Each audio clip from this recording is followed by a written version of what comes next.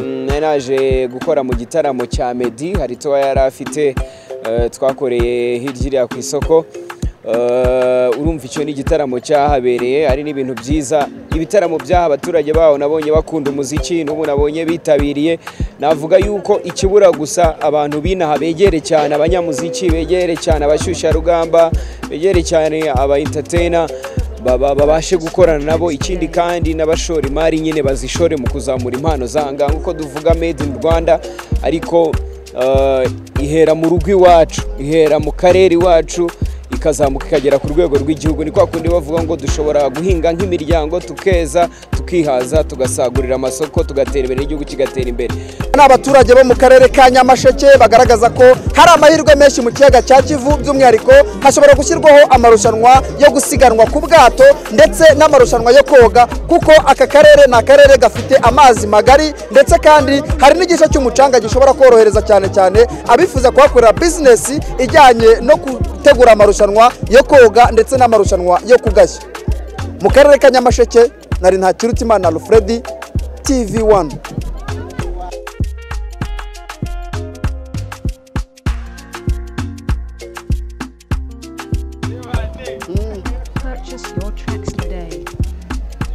musaza watangiye tubwira amazina yawe? Yitwa Bishuti Vesa Vincent ubaye uwa mbere tubwire ubigenje gute? Eh, nakoresheje imbaraga nyinshi. Kandi ahantu twagiye ni mu misozi nkaba nishimiye kuba nsinze ndi uw'i Karongi. Kandi Karongi tukaba dukora siporo rimwe na rimwe tuzamuka ya misozi yaho ni cyo nkeka ko cyamfashije gutsinda. Wakoresheje igare ry'ubwoko butamenyerewe cyane cyane mu marushanwa. Aya magare yabafasha cyangwa byagenze gute? aya magare aravunanye cyane ariko icya mbere ni ukwihangana. Igare riraryana umuntu aremera akaribwa ariko akagera ku ntego aba ashaka kugeraho. Usanzwe witabira amarushanwa? Ndabona ufite n'imyambaro y'abantu basanzwe bajya mu marushanwa y'amagare. Aya ntabwo asanzwe nitabira amarushanwa. Inshuro ni inshuro ya mbere nitabiriye. Kugeza amagingo aya ngaya bababwiye ko iri rushanwa rigamije iri rushanwa ni rigamije gukangurira abashoramari gushora imari muri aka karere ka nyamasheke. Ni ryo gutaha uyu muhanda wacu twabonye wa kivu berite birumvikana urawugenze. Nyamasheke wayibonye? Eh, nyamasheke ha- harimo imisozi n'udutambika dukeya.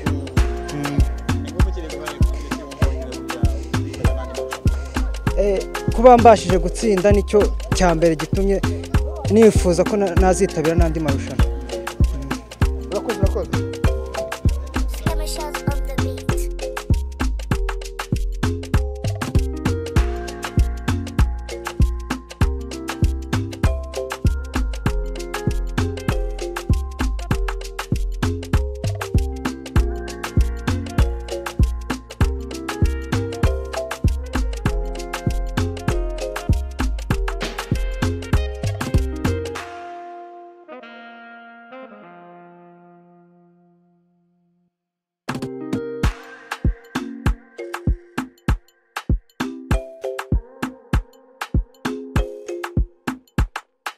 Urundi mu bijyanye no kubona imirimo. Eh, rero amahirwe arahari ni menshi ni mu nkengero z'ikiyaga. Eh, ni ahantu hari kirima nziza byanze bikunze hano hakorerwa ibikorwa byinshi. Uri umwe mu bagabo bazwiho kwitabira ibitaramo bigiye bitandukanye ndetse no kubitegura no kubigiramo uruhare. Nyamasheke ubona hari ibitaramo bihabereye. Kuki abanyamuziki ubundi mutajya mwibanda muri tuno duce tw'inopfu ubundi abanyamuziki ukuntu baba bateye akenshi na kenshi bo barakora bagategereza abantu bakira ibikorwa byabo. Eh, bamara kubereka ko babyishimiye bakababwira ngo twifuza gutaramana namwe twifuza gukorana ibi namwe Eh, ni byo ahanini bibakurura bakaba bagera aho hantu bakahakorera. Ibitaramo birahabereye inshuro ya mbere mpaza eh, naje gukora mu gitaramo cya Meddy hari towa yari afite eh, twakoreye hirya iriya ku isoko. Eh, urumva icyo ni igitaramo cyahabereye hari n'ibintu byiza. Ibitaramo by'aha abaturage baho nabonye bakunda umuziki n'ubu nabonye bitabiriye. Navuga yuko ikibura gusa abantu binaha begere cyane abanyamuziki begere cyane abashyushyarugamba begere cyane aba entertainer baba- babashe gukorana nabo. Ikindi kandi n'abashora imari nyine bazishore mu kuzamura impano zanga. Nk'uko duvuga made in rwanda ariko eh, ihera mu rugo iwacu ihera mu karere iwacu ikazamuka ikagera ku rwego rw'igihugu. Ni kwa kundi bavuga ngo dushobora guhinga nk'imiryango tukeza tukihaza tugasagurira amasoko tugatera imbere n'igihugu kigatera imbere. Rero abashora imari binaha banagerageze kuzamura impano zaho ko abanyamuziki baha bazamuka ni nako bashaka gukorana n'ab'iyo ruguru kure ubundi ibitaramo bikaba byinshi aha ngaha. Philipita turagushimiye kuri televiziyo ijyanye na TV murakoze cyane tv wani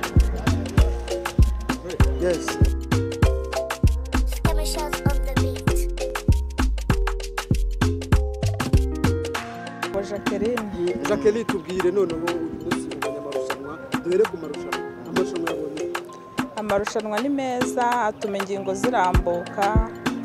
Mbega ngewe nabonye ari nka siporo barimo. Ni nka siporo barimo ariko se bivuze iki ku bantu banyamasheke nk'abantu b'icyaro Eh, ubu ngubu hari ubumenyi abantu bungutse. Nk'abana bakiri batoya hari icyo tubonye.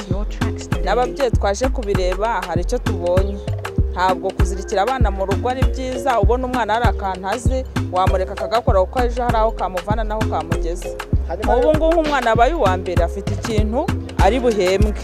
Ubutaha uwabaye uwa nyuma azaharanira nawe kuba yaza imbere akaba uwa mbere kugira ngo nawe kari agahembo abandi babonye nawe akabone Eh, icyo ibintu bigamije harimo mu gihe no kuri beach volley mu gihe no mu mazi ni ukugira ngo abashoramari babone nyamasheke baze kwishyuramo imari. Ese ahantu imari kuko harahari.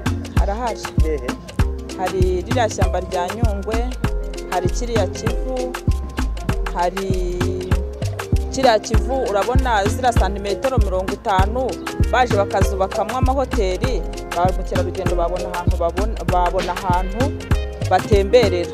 Bityo umuturage nawe imyaka yahinze yabona isoko ry'ahantu ayigemura atayijyanye za kigali atayijyanye za kongo ariko amahoteli aramutse atwegereye ni ukuvuga ngo abantu baza batugana bya biribwa byacu twajyanaga hanze byaza hariya natwe tugacuruza hafi.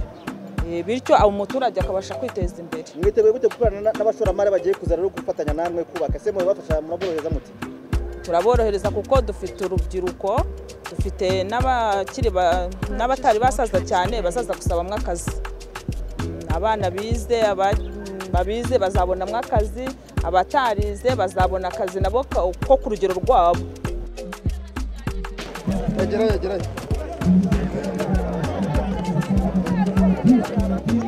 Mubaye aba mbere mubaye aba mbere mu kugashya yamfashije kunama maguma kuri wari umeze. Yamfashije anosiyata anosiyata tubwire uko mubigenje.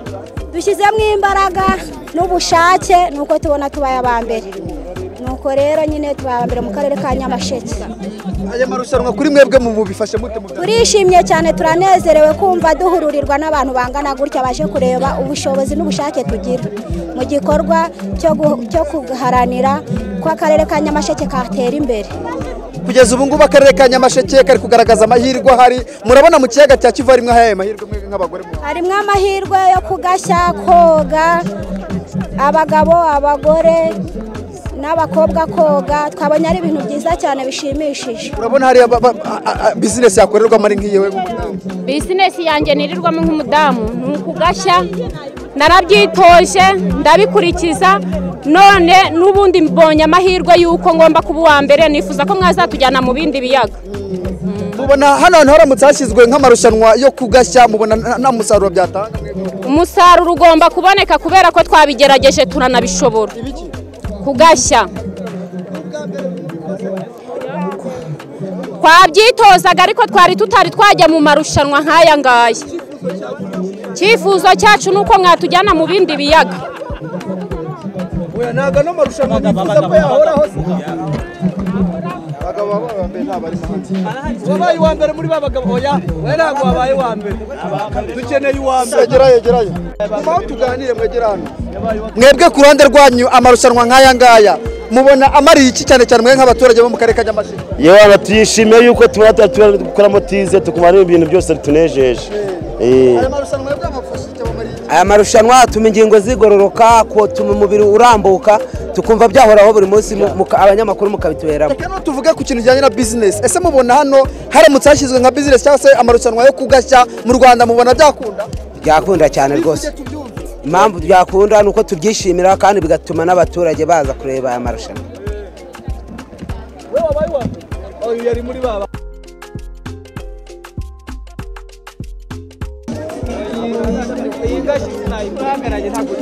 By'umwihariko muri aya marushanwa hateguwemo n'amarushanwa yo kugashya aho abagabo ndetse n'abagore by'umwihariko buri cyiciro cyagendaga gihangana abagabo bahanganye ku ruhande rwabo banakora urugendo rusa n'aho ari rurerure cyane aho bazengurukaga akarwa ndetse n'abagore nabo bakora urugendo rusa n'aho ari rugufi ugereranyije n'urw'abagabo. Aba bagabo bose icyo bahurizaho ni uko kuba byonyine aya marushanwa yo kugashya ashobora kubera mu kiyaga cya kivu ngo kuri bo babona ari ishema. Mugabo ubona aya marushanwa nk'aya ngaya agiye aba ni iki yafasha mwebwe nk'abaturage? Yadufasha kubw'uko tugorora ingingo nitwa mazimba karisiti ariko kubw'uko tugorora ingingo byadufasha bigafasha n'ababyeyi bacu n'aba- n'abana. Niko ubona ku buryo bujyanye n'amafaranga kugashya mubona bishobora kubinjiriza amafaranga? Bo byatwinjiza cyane kubera ko uyu munsi nabonye umwanya wa gatatu mu kugashya nkaba ntuye ku kirwa cya kirehe n'ubundi ntuye ku mazi ariko aya marushanwa twayishimiye byaba byiza cyane n'ubutaha rwose twongeye tukayitabira byazadushimisha murakoze cyane. Nitwa niyonsaba karisiti birumvikana rero aba ni abaturage bo mu karere ka nyamasheke bagaragaza ko hari amahirwe menshi mu kiyaga cya kivu by'umwihariko hashobora gushyirwaho amarushanwa yo gusiganwa ku bwato ndetse n'amarushanwa yo koga kuko aka karere ni akarere gafite amazi magari ndetse kandi hari n'igice cy'umucanga gishobora korohereza cyane cyane abifuza kuhakorera bizinesi ijyanye no gutegura amarushanwa yo koga ndetse n'amarushanwa yo kugashya. Mu karere ka nyamasheke nari ntakirutimana alfredi tv wani